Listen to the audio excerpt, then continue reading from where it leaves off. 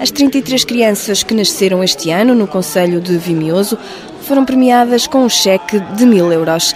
Este é mais um apoio da Câmara para incentivar a natalidade e a fixação de jovens no Conselho.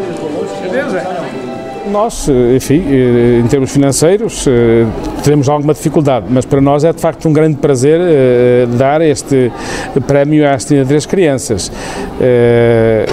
E, portanto, é já desde 2002 que nós estamos a dar este prémio e para nós tem sido, enfim, um, bastante agradável dar este, este prémio a senhoras, a mães que de facto ainda teimam viver no nosso Conselho. E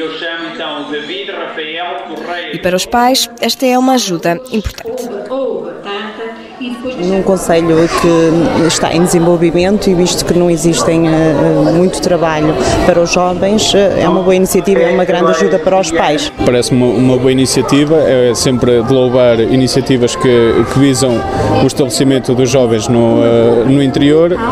Não, não, é, não é isto que vai fazer com que, com que os jovens fiquem e que tenham filhos, mas é sempre uma ajuda. Eu acho que é boa para incentivar as pessoas jovens como eu a fixarem-se aqui e acho que é uma boa iniciativa. Mil euros é uma ajuda? É, nos tempos que correm é uma boa ajuda.